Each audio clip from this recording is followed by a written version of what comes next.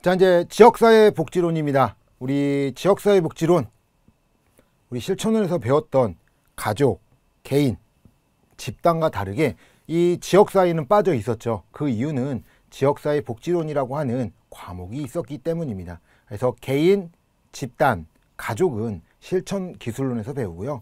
여기에 대한 내용들, 지역사회에 대한 내용은 지역사회복지론에서 배운다라고 말씀을 드립니다.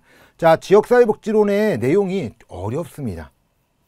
왜 어렵냐? 이 지역사회복지론에 대한 내용도 많은 이론에 대한 내용들이 상당히 많습니다. 그래서 이론에 대한 내용들로 이루어지게 되고 또 하나 이론이 끝난 이후에 들어가면 좀 괜찮아지는 것이 우리 사회복지의 현장에 대한 내용들을 볼 수 있는 것이 이 지역사회복지론이다라고 말씀을 드립니다. 그래서 이후에 이론이 들어가요. 이제 로스만에 대한 이제 산모형이 지나가고 나서 그 이후에 사회복지사 역할부터 시작해서 사회 운동하는 내용들이 지나가게 나면 이 지방분권이 되게 나서 자치단체가 되면서 나타나던 내용들부터 복지관으로 이루어지는 사회복지 현장에 대한 내용들로 이루어진다. 그래서 현장에 대까지는 좀 내용이 어렵습니다. 그래서 지역사회복지론이 뭐 쉽냐 어렵냐라고 하면 뭐 물론 이 지역사회복지론이 어렵습니다. 이게 왜 앞단계에서는 이론에 대한 내용이기 때문에 그 이론을 다 알지 못하면 풀지 못한다라고 말씀을 드릴 수 있고요. 뭐 정책론과 같이 지역사회에 있는 이런 정책이 만들어지는 그런 내용들도 포함되어 있기 때문에 이론들이 좀 어렵게 느껴지실 겁니다. 그러나 그 이론들만 좀 알면 이 지역사회 복지론도 그렇게 어렵진 않다라고 말씀을 드리겠습니다. 자, 우리 그럼 지역사회 이해를 보려고 하는데요. 개관의 지역사회 이해입니다. 자, 그럼 지역사회가 무엇이냐라고 얘기하는 거죠. 자, 우리가 자, 지역사회입니다. 자, 우리가 볼 때 가족도 있었고요. 집단도 있었고 뭐 단체도 있을 수 있고요. 조직도 있을 수 있고 이런 것들을 모두 포함하고 있는 것이 지역사회다라고 이야기할 수 있어요. 그래서 지역 사회복지 활동 영역이자 사회복지 현장으로서 지역사회 그 자체가 지역사회 복지의 실천이 될 수 있다라고 이제 이야기하는데요. 자, 지역사회 말 그대로 인간이 살고 있는 지역을 의미한다. 그래서 이 지역사회 안에서도 뭐 할 수 있다? 사회복지를 복지를 실시한다. 실천을 한다라고 이야기하는 것은 이때는 개인이 되는 게 아닙니다. 자, 개인을 가족을 아니죠. 뭐예요? 지역사회가 지역사회에 합쳐서 실천을 한다. 그래서 이 지역사회의 클라이언트는 지역사회가 됩니다. 지역사회 복지론에서 클라이언트는 지역사회가 된다라고 보셔야 돼요. 개인이 아니에요. 구성원들 이런 사람들이 클라이언트가 되는 게 아니라 이 사회복지 지역사회복지 실천에서는 지역사회가 클라이언트가 된다라고 말씀을 드립니다. 자 그리고 이제 지역사회 안에서는 또 다른 게 하나가 있습니다. 다른 점이 좀 전에 이야기한 것처럼 지역사회 복지 실천에서는 지역사회가 클라이언트가 된다라고 했어요.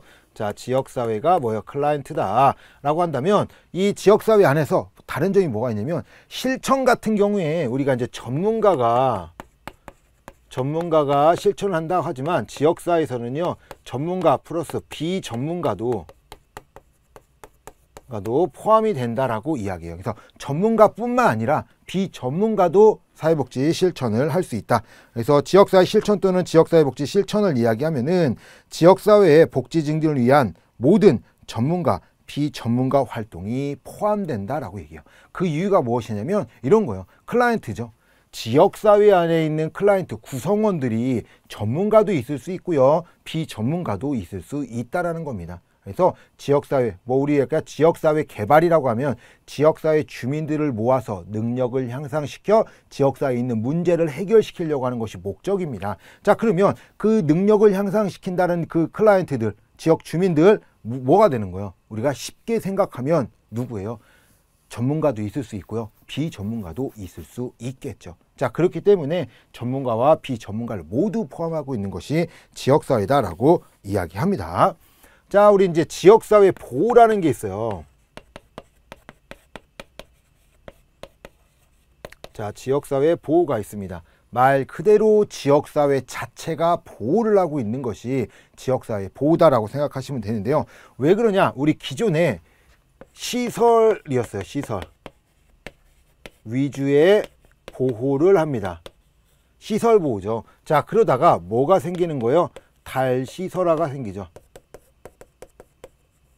탈시설화가 생기면서 이 탈시설화를 통해서 뭘 해주는 거예요? 지역사회 안에서 틈틈이 움직이게 되는 거죠. 그래서 지역사회 자체에서 뭐 하는 거예요? 클라이언트들을 보호하는 것이 지역사회 보호다라고 이야기합니다. 그래서 기존의 시설보호 위주의 서비스를 탈피해서요. 지역사회가 서비스를 주는 것을 의미합니다. 그래서 우리 주간보호센터라든지 아니면 복지관이라든지 이런 것들이 이 지역사회 보호의 일종이다. 일종의 지역사회 보호다라고 이야기할 수 있습니다. 그래서 사회적 돌봄을 의미합니다. 지역사회 보호는 사회적 돌봄이다. 보험을 의미합니다. 지역사회 위주. 자, 그러면 지역사회 개발이 있습니다. 제가 좀 전에 이제 지방, 지역사회 개발을 좀 이야기했잖아요. 로스만이 지역사회 개발, 사회 계획, 사회 행동 요 세 가지를 이야기를 하는데요. 자, 지역사회 개발이에요. 자, 이 지역사회 개발을 얘기할 때는요, 전문가가 뭘 하는 것보다는 누구예요? 지역 주민들이 모여서 스스로의 능력들을 향상시켜 그 문제에 대처할 수 있도록 하는 것이 지역사회 개발이다라고 이야기합니다. 그래서 지역 주민들의 공동 참여를 전제로 지역 주민들의 자발적, 자주적 노력에 의한 공동 욕구를 공동 욕구 해결을 강조하는 것이 이 지역사회 개발이다라고 이야기합니다. 자, 지역사회 조직이 있습니다. 자, 이 지역사회 조직이라고 하는 거 조직이라고 얘기하는 것 우리가 이제 이 지역사회 조직이 언제 나타난 거냐면 미국에서 많이 먼저 나타납니다. 자 이제 미국의 역사를 보면서 이제 보긴 하겠지만 자 우리 미국에서 문제가 생기죠. 그래서 이제는 사회복지를 미국 자체에서는 사회복지를 잘 하지 않았던 나라이기 때문에 이 미국에 있었던 그런 대공황이라든지 오일 쇼크라든지 이런 것들 때문에 좀 많이 힘들었어요. 자 그러다 보니까 이 특히 이제 대공황 때는 공공복지가 한번 들어갔었고요. 그러다가 대공황 터지고 나서 안 되겠다라고 하죠. 그러면서 지역사회에 있는 조직들에게 힘을 부여줍니다. 신자유주의에 의해 바람에 의해서 이 민영화가 되면서 이 지역사회 조직에 힘을 쏟아주면서 자신의 지역의 복지에 초점을 둘 수 있도록 했던 것이 지역사회 조직이다라고 이야기합니다. 그래서 공공 및 민간 사회복지 기관이 전문 사회복지에 의해 계획적, 조직적으로 이루어지며 과학적 기술의 지역사회 복지 활동과 구별되는 것이 지역사회 조직 사업이다라고 말씀을 드리겠습니다. 근데 이 내용들은 그냥 뒤쪽에 지역사회 조직에 대한 내용은 보도록 하겠습니다. 자, 그래서 이 지역사회가 무엇인가를 좀 아셔야 돼요. 그래서 지역사회 실천을 하는데 지역사회가 클라이언트가 되고 전문가, 비전문가까지 모두 다 본다라는 것을 좀 아셨으면 좋겠습니다. 자 그러면 지역사회를 구분을 하게 되는데 지역사회를 크게 지리적 의미와 기능적 의미로 보게 됩니다. 사회는 자 지리적 기능적 의미로 봐요. 자 지리적 의미를 본다라고 하면 공간의 개념입니다. 공간의 개념이에요. 우리가 쉽게 생각하면 뭐예요? 아무런 상관이 없어. 뭐 서울에 살고 있다. 뭐 인천에 살고 있다. 경기도에 살고 있다. 뭐 어느 지역에 살고 있다라고 하는 이런 것들이 지리적 의미다. 아무런 문제가 되지 않아요. 그러니까 아무런 문제가 되지 않는다는 게 어떤 목적을 이루기 위해서 우리가 모인 집단들이 아니라 지역 사이가 아니라 그냥 땅을 공유하고 있는 땅을 공유하고 있는 의미를 갖고 있는 것이 지리적 의미의 지역사회다. 지역, 지리적 특성에 의한 특성, 분리성을 강조한 지역사회를 의미합니다. 그래서 우리가 쉽게 생각하면 어떠한 목적을 위해서 움직인 이런 게 아니라 거기서 태어나고 거기서 자라고 해서 지역사회를 운영하고 있는 게 유지되고 있는 것이 이 지리적 의미의 지역사회다. 그래서 공간의 의미를 좀 갖고 있다라고 이야기합니다. 그래서 특수성, 분리성을 강조해요. 자, 그러면 여기 있는 게 있는데 모든 지역사회는 사회이나 모든 사회가 지역사회는 아니다라고 이야기해요. 그러니까 모든 사회, 모든 지역사회라고 하는 게 지역사회 조그매요. 더 조그매서 이렇게 지역사회들이 모여서 이렇게 하나의 사회를 구성할 수 있지만 이런 과, 사회를 큰 사회를 쪼갠다 해서 모두 다 지역사회가 되는 것은 아니다라고 이야기를 합니다. 이것이 이제 지리적 의미의 지역사회예요. 자, 사회적 동질성, 뭐 지리, 지리적, 사회적 동질성을 강조하는 지역사회 뭐 이제 이런 게 있긴 하지만 우리 이제 지리적 아니, 지역사회를 지리적 의미와 기능적 의미로만 좀 이해를 하시면 괜찮습니다. 자, 공감의 개념이에요. 그래서 이제 공간, 땅이에요, 땅. 그 지리, 땅에 대한 내용들을 의미한다라고 하면요. 기능적 의미는 이런 거와 가- 다르게 자, 공통의 목적입니다. 목적이 들어가요. 목적을 이루기 위해서 공통의 목적을 이루기 위해 움직이는 것이 지리적 의미예요. 이게 무슨 말이냐? 자, 기, 지리, 지리적 의미는 내가 그냥 A라는 지역에 태어나서 자라나고 뭐하죠? 내가 그 지역을 선택한 건 아니에요. 자, 근데 기능적 의미는 내가 공통의 목적을 이루기 위해서 모이는 거죠. 그러니까 그 지역 사회에 어떠한 특징이 있었고 거기서 내가 뭐 어떠한 목적을 이루기 위해서 모인다라고 이야기를 하는 거죠. 그래서 우리가 이제 공통의 관심과 이해관계라고 얘기를 해요. 그러니까 공통의 목적을 이룬 거죠. 내가 여기 와서 장사를 하기 위해서, 내가 여기 학교를 가기 위해서 그 지역에 살고 있는 것들 그런 것들을 의미하는 것이 기능적 의미의 지역사회다라고 말씀을 드립니다. 그래서 이 지리적 의미는 진짜 정말로 아무런 의미 없이 그냥 같은 땅에서 살고 있다라는 것을 의미한다면요 목적이 있다라는 거예요. 자 목적을 가지고 이루기 하고요. 그러니까 우리가 이제 목적을 위해서 그 지역에 살고 있는 거예요. 어떤 뭐 특주, 특수한 목적을 이루기 그게 기능적입니다. 자 그래서 요새는 이 기능적 의미가 많이 발달합니다. 자 그래서 우리 가상 공동체라든지 가상 공동체라든지 쉽게 하면 가상 공동체가 뭐 그냥 보면 되죠. 뭐요? 온라인 온라인에서 모이는 그런 목적들을 위해서 이제 모이는 집단들 있죠. 요것도 다 기능적 의미. 그래서 기계 기술이 발전되고 온라인 이런 인터넷이 발달하게 되면서 우리 온라인 안에서 만드는 거죠. 우리 줌으로 수업을 한다든지 아니면은 우리가 사용하고 메신저들 이런 것들이 다 기능적 의미의 지역 사회로 포함된다라고 이야기합니다. 자, 그리고 멤버십 뭐 이런 것서 가상 공동체, 온라인 커뮤니티 이것도 기능적 공동체에 포함된다라고 이야기를 합니다. 뭐 갈등의 장으로서 지역 사회 또 읽어 보세요. 그래서 지역 사회는 지리적 의미와 기능적 의미로 이야기한다. 이거 누가 얘기했냐면요. 우리 이제 로스라는 자, 로스라는 로스라는 학자가 이거 학자 이름들 중요합니다. 로스라는 이 학자가 지리적 의미와 기능적 의미로 이야기했다. 학자들 이름 중요해요. 왜 그러냐면 다음 중 학자에 대한 구분으로 틀린 것은 하는 문제들이 나오기 때문에요. 학자에 대한 내용들을 좀 잘 알고 계셔야 됩니다. 자, 그리고 우리 지역사회 특성 있죠. 이거 한번 지리적 경계라든지 뭐 지리적 경계가 있죠. 그래서 지역사회는 지리적 경계로 구분되죠. 그래서 보통 도시 같은 경우 도로를 기준으로 해서 무슨 동, 1동, 2동 이렇게 바뀌기도 하고요. 강이 있으면 강을 기준으로 해서 이 지리적 구분을 하고 있다. 이것이 이제 지리적 경계고요. 사회 문화적 동질성 뭐요? 그 안에서 원하는 그런 행동을 한다든지 목적을 갖고 있어서 동질성이 있어서 그 사람들끼리 상호작용하는 것이다. 다변화라고 하죠. 왜요? 우리가 이제 사회가 변할수록 뭐 정보화 시대가 되면 될수록 어때요? 사람들은 새로운 형태로 변하고 있다. 지역사회는 공동체 의식 및 정서적 유대 공동체 의식이 그대로 있죠. 우리 마을을 위해서 뭔가 해야 돼, 뭐 해야 돼 라고 얘기하는 것처럼 정서적 유대가 나타나게 됩니다. 자, 정치적 실체, 뭐요? 국가를 연결하는 거죠. 지역사회 안에서. 그러니까 이런 것들이 있다라고 그냥 한번 읽어보시면 되겠습니다.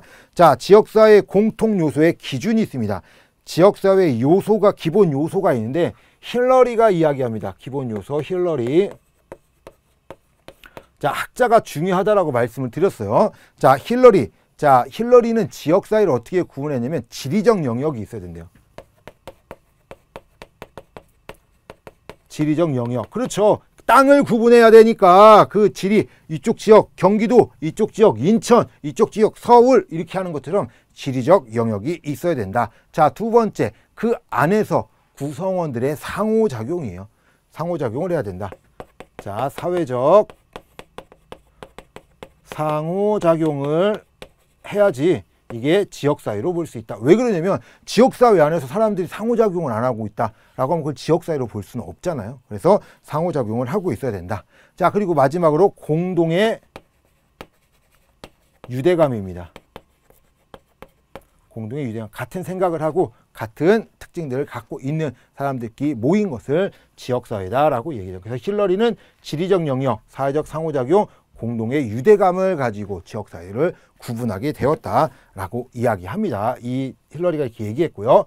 자, 우리 이제 워렌이라는 학자가 이야기합니다. 좋은 지역사회요. 자, 좋은 지역사회. 어떤 자, 어떤 지역사회가 좋은 지역사회냐라고 하면 외울 필요는 없습니다. 저 왜 그러냐면 읽어보면 다 이게 좋은 지역사회구나라는 것을 이해가 되는데요. 자, 1번 구성원 사이에 인격적 관계가 있어야 된다. 당연하겠죠. 그 관계가 구성원의 관계가 인격이 없어요. 자, 인격적 관계가 되지 않아요. 그래서 막 가명 막 무시해. 그러면 뭘그 지역사회에 뭐 모이고 그 지역사회 사람들이 몰리고 그쪽 가려고 할까요? 그렇지는 않다라는 거예요. 그러니까 그런 지역사회는 좋은 지역사회가 되지 못합니다. 자, 두 번째. 권력은 폭넓게 분산되어야 돼요. 자, 권력의 분산입니다. 왜 그러냐? 한 사람의 모든 권력을 갖고 있어요. 그건 그 지역사회가 좋은 지역사회라고 할 수 없겠죠. 그렇기 때문에 권력은 분산되어야 된다. 권력이 폭넓, 폭넓게 분산되어 있어야 됩니다. 자, 그리고 지역사회 안에는 정말 많은 집단들이 있어요. 자, 우리 다양한 집단이라고 하는데 집단을 포용할 수 있어야 돼요. 자, 우리 쉽게 생각하면 이익 집단도 있을 것이고요. 종교 집단도 있을 것이고요. 뭐 우리가 또 다른 집단들이 많이 있어요. 나랑 종교가 안 맞는다고, 나랑 피부색이 맞지 않는다고, 나랑 이념이 같지 않다고 다 배척하면 안 된다라는 겁니다. 지역사회 안에서는 모든 다양한 집단을 포용할 수 있어야 그 집단은 그 지역사회는 좋은 지역사회다라고 이야기하는 거예요. 다양한 소득, 인족, 종교, 이익 집단들을 포함되어 있어야 됩니다. 자, 네 번째가 지역사회에 자율권이 있어야 돼. 자율권. 자율권. 스스로 무언가를 할 수 있어야 되겠죠. 우리가 쉽게 생각하면 무언가를 하려고 해도 못하게 이러면 좋은 지역사회가 될 수 없겠죠. 그래서 지역 주민의 자율권이 충분히 보장되어야 됩니다.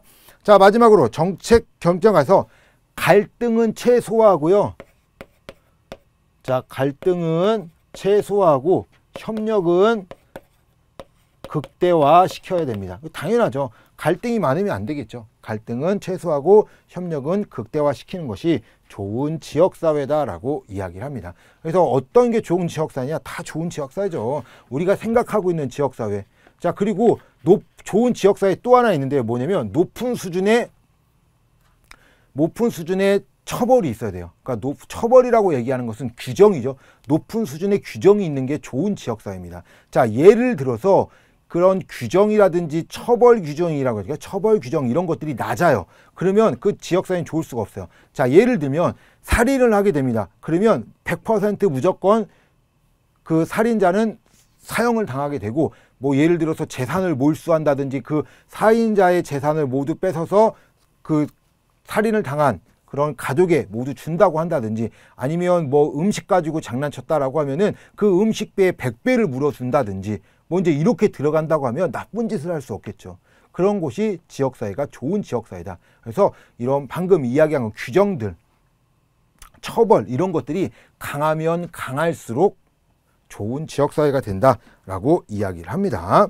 자, 근데 여기 책에는 그 나타나지 않는데 자 이런 게 좋은 지역사회고요. 자 지역사회 역량들이 있어요. 지역사회 역량들 보게 되면 지역사회 역량을 향상시키는 요소들이 있습니다. 어떻게 하면 사, 지역사회 역량을 향상시킬까? 뭐냐면 좋은 거예요. 그러니까 우리가 쉽게 생각하면 좋은 지역사회 뭐 이렇게 얘기해봐야 다 필요 없어요. 자 평등해야 돼요. 구성원들끼리는 평등하고 모든 그런 권력이라든지 이런 것들에서 불이익을 받고 이루지 않는 것이 이제 좋은 지역사회입니다. 자, 그런 것처럼 역량을 내면 다양성을 존중해. 똑같은 내용이거든요. 좋은 지역사회의 내용하고 똑같은 건데, 조, 다양한 존중, 다양성 존중, 구성원의 자율성 유지, 사회적 가치 공유, 공동선의 추구와 조정, 공동이익의 극대화. 그런 거죠. 다 똑같은 얘기잖아요. 혼자 무언가를 다 해먹으면 안 되고 다른 사람과 나눠야 되고요. 그리고 다양성 같은 것들 인정해주고 배척하면 안 된다는 거죠. 너는 이래서 안 돼. 너는 이래서 너는 왜 피부색이 이러면서 막 안 된다는 거예요. 그런 것들을 하지 않는 곳이 좋은 지역사회다. 그래서 지역사회의 역량을 향상시킨다라고 이야기합니다. 자, 뭐 향상시키는 조건들을 보게 되면 지역 주민들은 지역사회에 헌신해야 됩니다. 자, 지역사회의 다양한 집단들의 자신의 가치와 이익에 대해 자각하고 있어야 되고요. 구성원 간의 효과적인 의사소통, 지역 사회 구성원의 목표를 확실하 목표 목표를 확인하고 목표 달성을 위한 활동에 참여해야 됩니다. 자, 여러 집단 간에 발생하는 갈등을 처리하는 절차가 있어야 되고요. 지역 사회의 적절한 수준의 자율성을 유지하면서 외부 사회와의 관계를 처리할 수 있는 능력을 갖고 있어야 됩니다. 그래서 이제 좋은 지역 사회, 뭐 해서 이제 우리가 생각하고 있는 지역 사회들이 있잖아요. 당연한 거 아니냐. 이렇게 좋아져야 되는 게 아니냐. 모든 사람들에게 효율을 줘야 되지 이런 것들이 모두 다 이 지역사에 대한 내용이다라고 생각을 하시면 됩니다. 그래서 외우기보다는 그냥 좀 이해하시면 됩니다. 자, 지역사의 유형이 있습니다.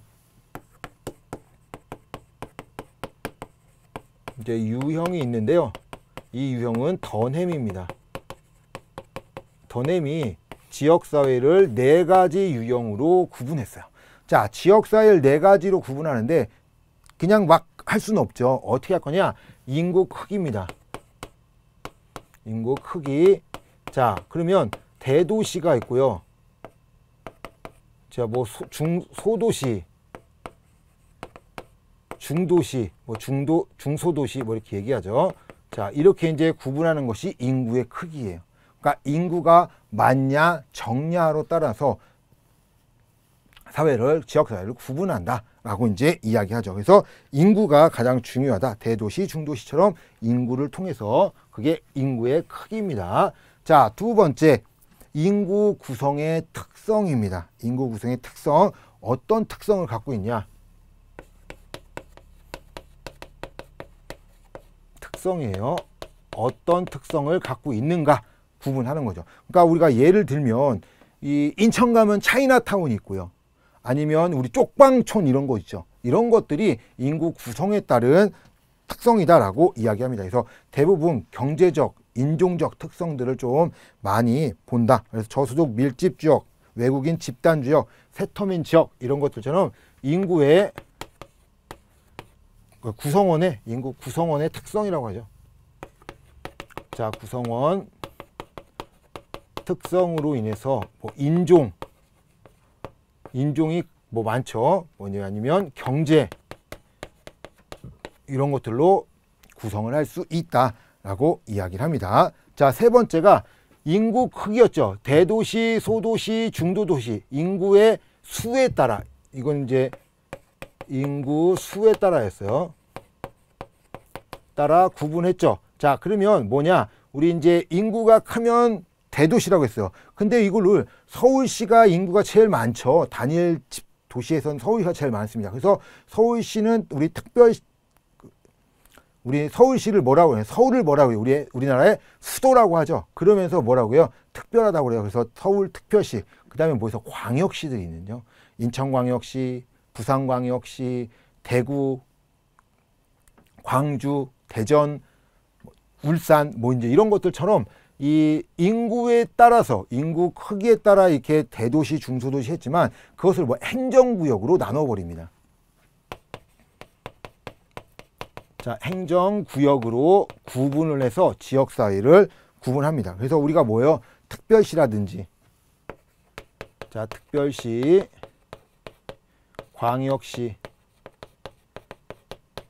뭐 시도 시 군, 구 음, 면, 동 이렇게 이제 나누는 것이 행정구역이다. 그러나 이 행정구역은 보통 뭐요? 인구의 수에 따라서 필요한 거죠. 그래서 지역사회를 구분하기 위해서 인구의 수에 따라 행정구역들을 나눠놨다라고 이야기하는 것이 이 행정구역에 따른 유형입니다. 자 마지막으로 경제적 기반이에요. 자 경제적 기반인데 우리가 쉽게 뭐 하는 거예요? 경제 뭘 하고 있냐? 자, 농촌에서는요, 농사를 짓죠. 어촌에서는 물고기를 잡아요. 산촌에서는 산에 있는 약초를, 그 다음에 뭐 도시에서는 서비스업, 뭐 이런 것들처럼 그 지역이 어떠한 것으로 경제 활동을 하느냐에 따라 지역을 구분해 놓는 거. 자, 이것이 바로 경제적 기반이다라고 말씀을 드립니다. 그래서 산업 구조 및 경제적 기반으로 경제적 특성으로 파악하는 거죠. 그래서 농촌, 어촌, 산촌, 광촌, 광업지역, 도시단지 뭐 이런 거, 구미단지, 뭐 구로공단, 구미공단 뭐 이렇게 구분하는 것들이 모두 다 경제적 기반이다. 누가 그랬다고요? 더넴이 그랬습니다. 더넴이 구분하는 게 지역사회 유형. 자, 로스가 지역사회를 지리적, 기능적, 힐러리는 세 가지, 워렌도 좋은 지역사회를 얘기합니다. 자, 그리고 지역사회 이제 기능 및 비교 척도가 있는데요. 지역사회 기능이 있어요, 기능. 이 기능이 있는데 이 기능을 어떻게 얘기했냐. 자, 다섯 가지로 구분하게 됩니다. 누가 했냐가 중요하겠죠. 길버트와 스펙트입니다. 와 스펙트 가 이야기했던 게 지역사회의 기능이에요. 자 그러면서 다섯 가지로 이야기했다라고 했어요. 자 첫 번째가 소생분입니다. 소비, 생산, 분배예요. 자 사람 물건을 만들어서 그러니까 예를 들면 이렇게 할까요? 농사를 지어서 농사를 팠어요. 그 물건을 파는 행위들. 또 반대로 농사 지은 걸 사는 사람이 있겠죠. 소비 생산, 분배에 영향을 받는다. 자, 물건을 사고 팔았죠. 그러니까 뭐요? 경제제도다라고 이야기할 수 있겠죠. 경제제도를 의미합니다. 그래서 요새는 이렇게 나오지 않고요. 예전에는 이렇게 나왔는데 지금 이렇게 안 나오더라고요. 예로, 예로 나왔어요. 예로. 그래서 우리 이제 물건을 사서 물건을 파는 그런 행위들에 대한 내용들로 사례로 해놓고 행위들로 해놓고 이게 뭐냐 이렇게 나왔었고요. 자, 소비 생산 분배요. 자, 두 번째. 우리나라에 아니 사람이 태어나서 최초의 사회를 만납니다. 사회화가 있어요. 사회화. 인간이 인간은 혼자 살 수 없잖아요. 그러다 보니까 사회를 만나게 되죠. 그래서 사회화 제도를 만나게 되는데 이 사회화라고 얘기하는 것 우리가 처음 만나는 인간이 태어나서 처음 만나는 사회 어디예요? 가족입니다. 가족 제도. 그래서 이렇게 얘기, 대학교에서 얘기했더니 이렇게 얘기하더라고요. 자, 사회 제도다라고 얘기했더니 그 최초에 만나는 사회가 가족이다라고 했더니 산부인과인데요라고 얘기하더라고요. 뭐 물론 맞긴 하죠. 근데 어때요? 집에 들어와서 어머니죠. 그러니까 쉽게 얘기하면 이게 경제 금전적인 내용을 한다라면 사회와 가족 제도로요. 가족이 갖고 있는 뭐 생활 양태라든지 특성 이런 것들을 모두 받아들이게 되죠. 그래서 그런 가족이 가지고 있는 가치라든지 이런 것들을 습득해서 어떻게 만드는 거예요? 내 자신이 그렇게 변화해 버리는 것을 의미하는 거죠. 자, 그것이 바로 사회화입니다. 자, 그러면 우리가 우리 쉽게 생각하면 그 지역사회가 유지되기 위해서 제가 아까 지역사회는 좋은 지역사회는 이런 이런 특징을 갖고 있다라고 하면서 잘못된 점에는 확실히 처벌이 들어가야 된다고 그랬어요. 높은 수준의 높은 수준의 지역적 통제가 들어가야 돼요. 높은 수준의 지역적 통제가 들어갈수록 좋은 지역사회가 됩니다. 자, 낮은 통제가 들으면 안 좋아요. 왜 음주운전 했는데 음주운전에서 사람이 죽었어요. 그럼 죽은 사람은 뭐예요? 근데 음주한 사람 뭐 경, 징역 2년, 3년 이렇게 받고 나와버리잖아. 이러면 무슨 문제가 생겨요? 그러면 뭐 억울하죠. 그러니까 쉽게 얘기하면 지역 뭐 음주운전 하고 나면은 뭐 거기에 따른 뭐 벌이 어마어마하게 커져야지만 두 번 다시 그런 행동들을 하지 않겠죠. 자, 그런 것들처럼 방금처럼 사회 통제를 할 수 있어야 돼요. 사회 통제가 있는데 사회 통제를 하는데 이 사회 통제를 누가 할까요? 제가 사회 통제를 할까요? 아니죠. 사회 통제라고 얘기하는 것은 우리가 뭘로 사회를 통제해요? 규정, 법으로 합니다. 자, 그럼 법을 누가 만들어요? 법 만드는 사람, 국회에서 법을 만들죠. 그런 사람들을, 그런 사람들 직업이 뭐예요? 국회의원, 의원일 때는 저는 무슨 의원입니다 라고 얘기하지만 의원에서 떨어졌어요. 그럼 뭐라고 하세요? 저 정치인인데요. 라고 얘기하죠. 정치 제도를 의미합니다. 정치 제도가 사회 통제 제도다라고 이야기합니다. 자, 사회 통합 제도도 있어요. 사회 통합. 자, 우리 사회가 통합이 될까요? 하나의 통합이라고 얘기하는 것은 하나의 생각을 하고 이제 움직이는 건데 자 우리나라에선 통합 안 됩니다. 우리나라는 통합을 할 수 있는 이유가 거의 없어요. 그리고 이제 사회 통합이 잘 안 되는데 이 길버트와 스펙트가 우리나라 사람은 아니잖아요. 이게 뭐냐면 유럽이나 미국의 특징도 있어 국교가 있습니다. 국교. 국교가 있어서 종교가 딱 있죠. 이제 우리나라는 다종교에 다종교 뭘 믿든지 문제가 되지 않아요. 기독교, 천주교, 불교, 뭐 원불교 여러 가지 종교들이 있지만 누구 하나 탓하지 않습니다. 근데 그런 국교가 있는 나라들은 뭐예요? 국교를 믿어야 됩니다. 자, 국교를 믿기 때문에 그 국교를 가지고 통합이 가능하겠죠. 뭐예요? 종교제도다라고 얘기해요. 사회통합 종교제도. 사회통합제도, 사회통합을 할 수 있는 게 종교제도다라고 얘기하고요. 마지막으로 상부상조가 있습니다. 상부상조를 해야 되겠죠. 사람은 혼자 살 수 없어요. 같이 살아간다. 그래서 상부상조를 하죠. 자, 그런데 지금은 어때요? 상부상조에 대할 수 있는 내용들이 많이 줄었죠. 예전에는 상부상조하고 많이 했었지만 지금은 그렇지 못합니다. 자, 그래서 나타난 것이 뭐예요? 사회복지 제도입니다. 이것이 길버트와 스펙트의 지역사회의 기능이에요. 자, 그래서 방금 이야기한 것처럼 소생분 경제제도잖아요. 물건을 생산해서 물건을 팔고 경제가 활발하게 이런 것들에 대한 내용들이 그거고요. 자, 뭐 사회화라고 하니까 최초에 만나는 사회 가족에 대한 내용들이겠죠. 우리 뭐 가족에 대한 내용이 이렇게 나온다라고 하면 사회 제도다 생각하시면 돼요. 사회 총대. 자, 우리 이런 거죠. 안전한 마을을 만들기 위해서 뭐 자동차의 시속이라든지 이런 것들을 뭐 낮춰서 안전하게 지나갈 수 있게 만들었다라고 하면 이런 것들이 다 이제 사회 통합 통제 제도에 들어간다라고 하고요. 같은 무언가를 하기 위해서 뭉치고 뭐 하는 사회 통합 제도, 상부상조 서로 돕고 돕는 거. 그래서 뭐 이런 게 있었어요. 종교 단체에서 어려우신 분들을 모아서 어려운 분들을 위해서 물건을 나눠주고 뭐 이런 제도가 뭐냐. 자, 종교 단체라고 해서 물건 어, 물건을 나눠주고 어려운 필요한 것들을 도와주고 막 이런 것들에 있는데 종교제도라고 이제 종교단체에서 했다고 해서 종교제도로 보시면 안 돼요. 사회통합으로 보면 되는 게 아니라 어려운 사람들에게 물건을 주고 살 수 있도록 상부상조한 거죠. 이런 것들은 사회복지 제도로 보셔야 됩니다. 그래서 이런 내용들 길버트와 스펙트라든지 워렌, 던햄, 힐러리, 로스 이런 학자들이 이야기한 내용들을 좀 잘 알고 있어야 됩니다. 자 마지막으로 이제 워렌이 또 이야기한 게 있어요. 뭐냐? 지역사회의 비교 척도입니다. 자 지역사회의 비교 척도예요.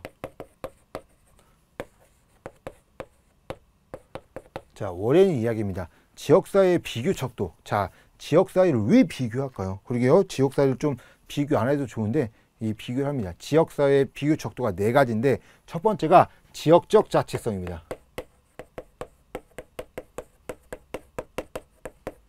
자, 지역적 자치성이다라고 얘기하는 것은 뭐예요? 그 지역적 자치성, 자치가 뭐예요? 스스로 모든 것을 할 수 있는가요? 즉, 다른 타 지역에 뭐 하지 않는 거예요?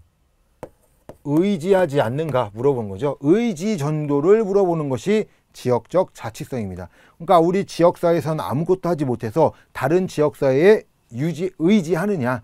이것이 이제 높으면 높을수록 지역사회는 안 좋은 지역사회다라고 얘기할 수 있겠죠. 그래서 사회가 제 기능을 수행할 때 타 지역에 어느 정도 의존하는가요? 적게 의존할수록 뭐한 거예요? 지역적 자치성이 높다라고 이야기하겠죠. 그래서 좋은 지역사회다라고 이야기할 수 있습니다. 자, 두 번째, 서비스 영역의 일치성입니다. 일치성. 자, 얘기하면 뭐냐면 한 곳에서 자, 모든 서비스를 받을 수 있는가 물어보는 것이 서비스 영역의 일치성입니다. 자, 예를 들면 우리 이런 게 있겠죠. 대학병원이 있어요. 우리가 대학병원 왜 갈까요? 대학병원 가는 이유가 뭐예요? 가장 좋은 게 대학병원 안에서 올스톱 아, 올스톱이 아니요 원스톱 서비스를 받을 수 있기 때문입니다. 자, 엑스레이 찍었는데 이상하네. 거기서 MRI 찍고 어 이상하네. 그러니까 바로 수술도 들어갈 수 있겠죠. 이것이 이제 들어가죠. 그런데 어떻게 돼요? 조그만 정형외과 이렇게 가면 엑스레이 찍고 MRI가 없으니까 다른 데서 MRI 찍고 오세요. 그리고 봤더니 아, 상태가 안 좋네 수술할 수 없으니까 다른 곳에서 수술 이런 문제들이 생기는 거죠. 자 그래서 서비스 영역의 일치성은 그 사람들이 사랑하는데 서비스를 받아야 되잖아요. 그 지역에 모든 지역의 그 서비스를 모두 받을 수 있는가라고 보는 거죠. 학교, 뭐 종교, 뭐 이런 것까지 모두 포함해서 모든 서비스를 그 지역사회, 한 곳에 있는 그 지역사회에서 받을 수 있는가 물어보는 것이 서비스 영역의 일치성이다. 그래서 상점, 학교, 공공시설, 교회 등의 서비스 영역이 동일 지역 내에 어느 정도 이루어져 있는가가 좋은 거죠. 뭐 우리가 쉽게 하면 동쪽에서 뭐 받고 서쪽에서 뭐 받고 남쪽에서 뭐 받고 이러면 안 좋다라고 이야기합니다. 자, 세 번째가 지역 주민의 자, 심리적 동일시입니다. 자, 지역 주민. 이 지역 주민이 뭐라는 거예요? 얼마나 같은 생각을 하고 있냐라는 거예요. 같은 생각, 심리적으로 동일시한다. 그러니까 똑같은 생각이죠. 지역 사회가 어려워요. 그러면 같이 가서 이 지역 사회 문제를 해결하기 위해서 어떤 행동을 같이 한, 뭐 같이 해야 되는데 어때요? 한 명만 해. 이러면 문제가 될 수 있겠죠. 그래서 어느 정도 뭐 하는 거예요? 같은 생각.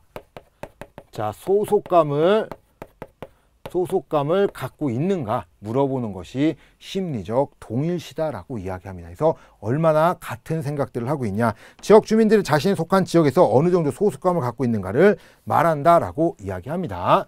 자, 마지막으로 수평적 유형이 있어요. 자, 수평적 유형. 자, 이게 뭐냐라고 하면은 지역 안에는 지역 사회 안에는요 여러 가지 체계들로 이루어집니다. 이렇게 체계들이 이렇게 있어요.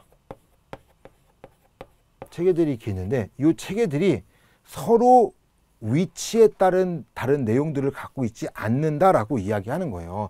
이게 무슨 말이냐? 이게 1이랑 2가 있어요. 1이가 1이 거래를 하고 막 이러는데 1이 높아요, 2가 높아요.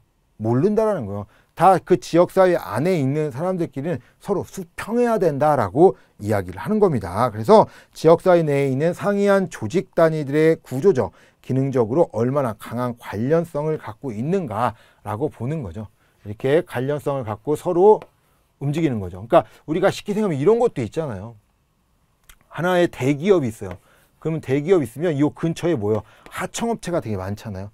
한 곳에서 모든 것을 다 이룰 수 있는가라고 보는 것이 수평적 유형이다. 관련성이에요. 관련성. 관련성이 있는가 라고 보는 것이 수평적 유형입니다. 자, 그런데 우리가 필요한 서류 그 자원이 3이 있어야 되는데 3 1 5까지 있어야 돼. 1 2 3 4 5가 있어야 되는데 없어요. 5가 없고 이 1 2 3 4까지밖에 없어요. 그래서 봤더니 다른 지역에 이렇게 이제 5가 있습니다.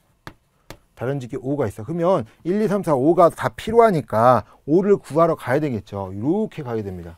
이렇게 연결되겠죠. 자, 이런 것들을 수직적 관계라고 얘기합니다. 수직. 수평은 그 지역사회 안에서 관계를 맺고 있을 때 수평적 관계라고 얘기하고요. 다른 지역사회하고는 수직적 관계를 의미한다. 라고 이야기를 합니다.